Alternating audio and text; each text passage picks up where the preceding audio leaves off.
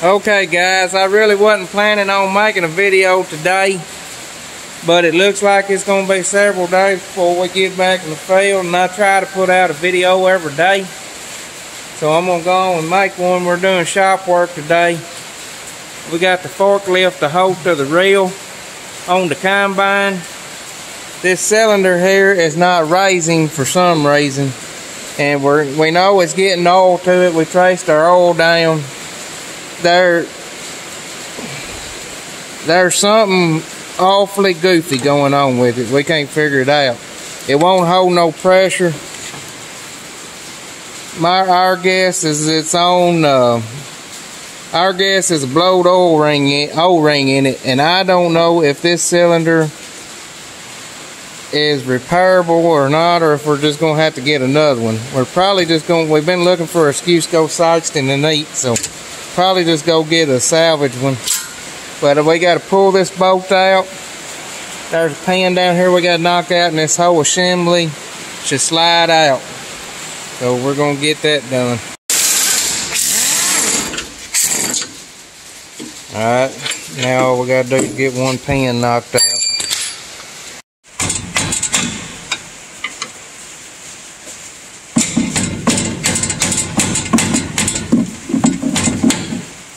Got a pretty good size solder pan holding that plate on. Let's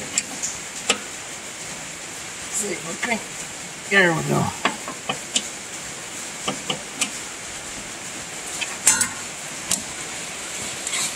I gotta pull the hydraulic hose off. At least it's down here where you can get to it now. That bolt that we took out is a leveling, I believe it's a leveling bolt. Keep it real level across there.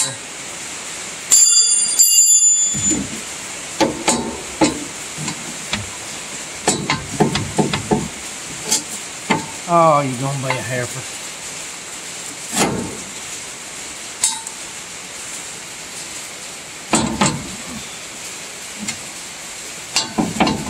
I'll be right back.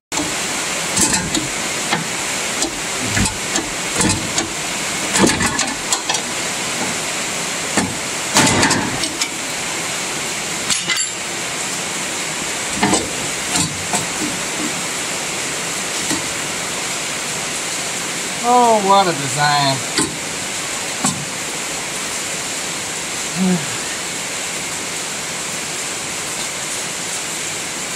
Sure they do trap I ain't got that in there with a roll pin.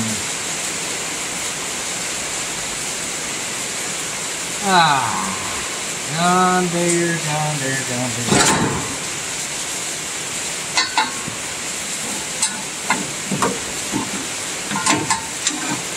Maybe that's how it comes out.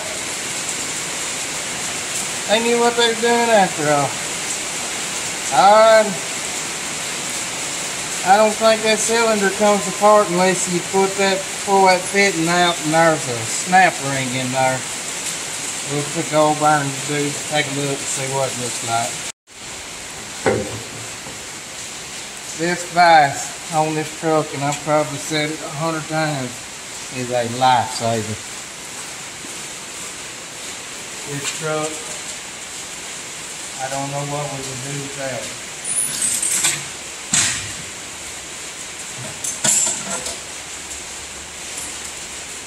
Just bring, always bring multiple wrenches.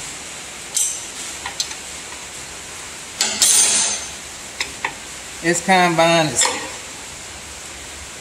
bad about having in the early 90s, everybody couldn't make up their mind what they wanted to use, whether they wanted to use metric or standard. We bought our first full set of metric wrenches when we bought this combine. Yeah, it's got a snap ring on it. I don't know if you can see it in there or not. Alright, you see that little, y'all see that little ring right there and in that groove? You gotta take a screwdriver and push that ring into that groove and then this ram will come out of this cylinder. This John Deere loved this little style design on these single acting cylinders. My kind, uh, my planter all the uh, all the well cylinders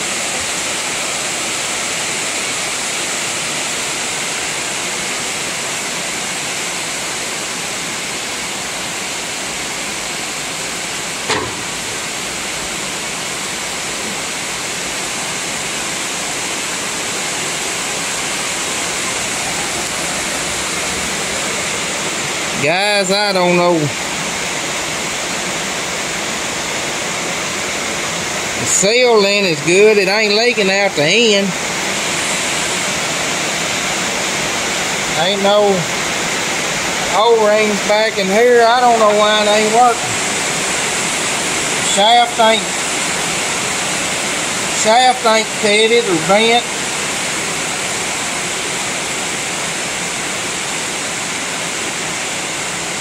Just don't know, guys.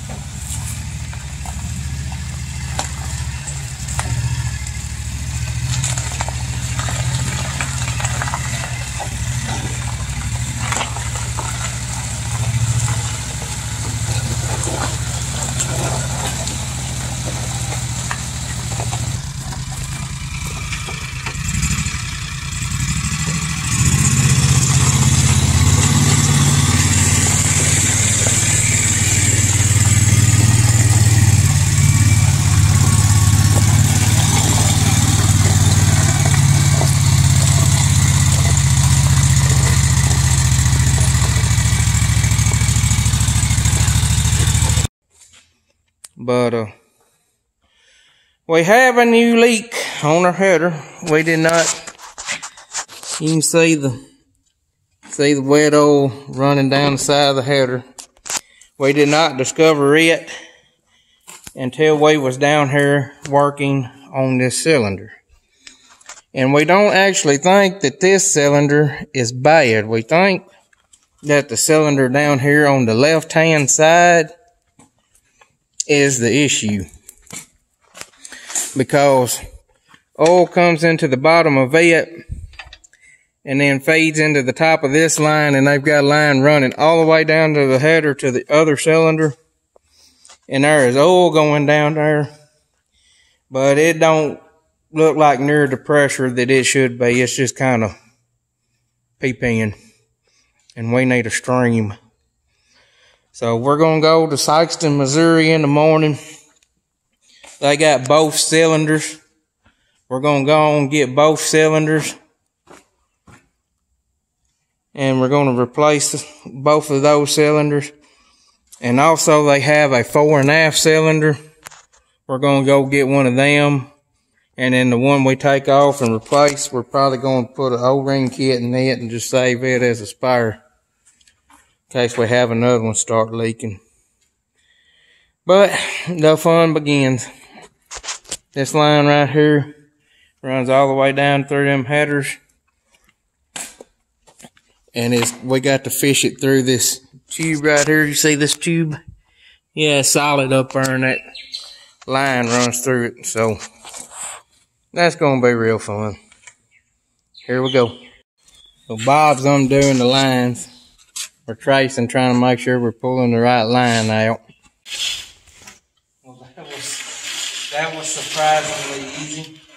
They did do something pretty smart. They put this line in here in sections. They got it in in three sections where you ain't got to replace the whole darn thing. Ooh, it's rusty. Uh-huh.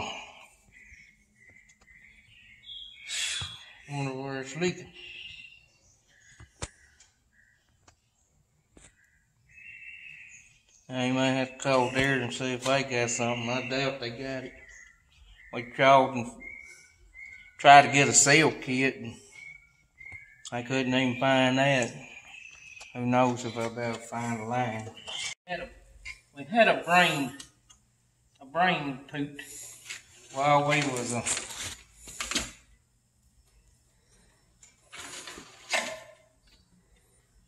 Oh, there we go.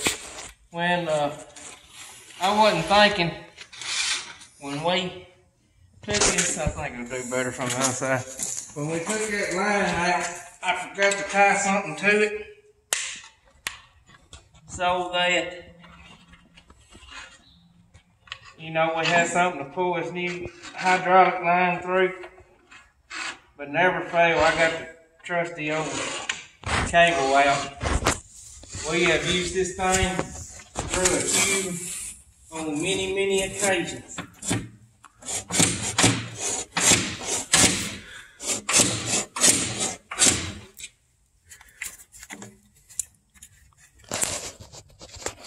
Now, here's the moment of truth. We're going to try to ease it up through that tube.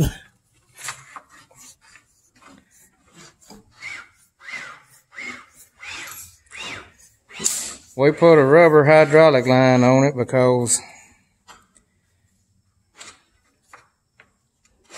there it went. The closest hydraulic line John Deere had was in where? Idaho? Washington or Idaho. So apparently they still run some 922s in Washington or Idaho. Atlanta didn't have one. Milan, Illinois didn't have one. And it was going to be $113. And we made this hydraulic hose up for 78. So it is what it is. That's what she's going to get in her.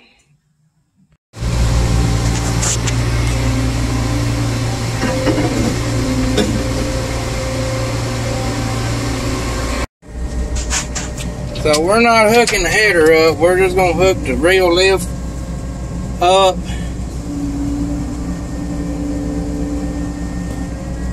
And uh, see if we got it fixed.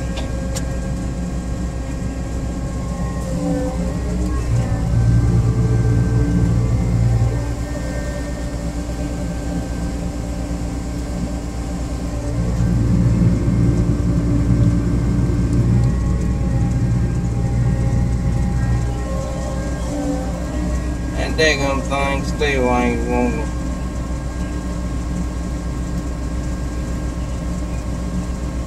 Snap it up there, Robert. There you go. I'm gonna I'm gonna phase it a time or two and see if it don't start working. Maybe it's gotta work the air out of the system. Come on. Lift up there.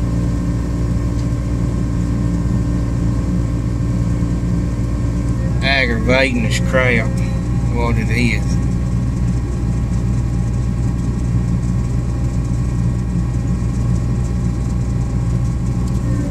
You low down honky, you know what? Come on. Well, guys, you hate them days where you, you work all day on something and it just don't, just don't work. I thought for sure replacing that line would help. Well, we replaced the wrong, you see that hydraulic oil down there on the ground? We replaced the wrong blankety blank blank blank blank blank blank insert insert whatever words you can think of right here because I'm thinking them. I'm trying to do better and not say them but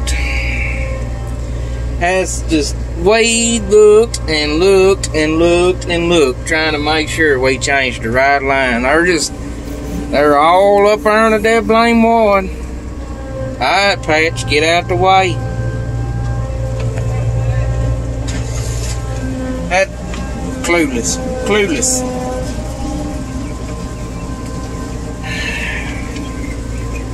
Well, that's where we're gonna shut the video off today. Y'all watch us tomorrow, change the line again. And if I don't and if I don't fix it, we'll be going to Saxton after some cylinders.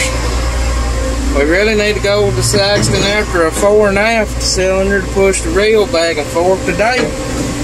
Oh, it's we've been having a good harvest so far, but the past two days the equipment has not wanted to cooperate. So, an update. We did change the wrong hose. So, we're got it out. And this time we was a little smarter. This time we went on tied the cable to it. Pulled it through the tube. So that new hose ought to go through there a lot easier. We still don't know if the cylinder down, if this gonna fix the cylinder down on end. So we may or may not be going to Saxton tomorrow. Y'all been wanting to see more more of Bob in the videos. and he does not look very enthusiastic about it today. He was in a pretty good mood until we until he found out that second one we changed the wrong one. But until next time, y'all keep them straight up there.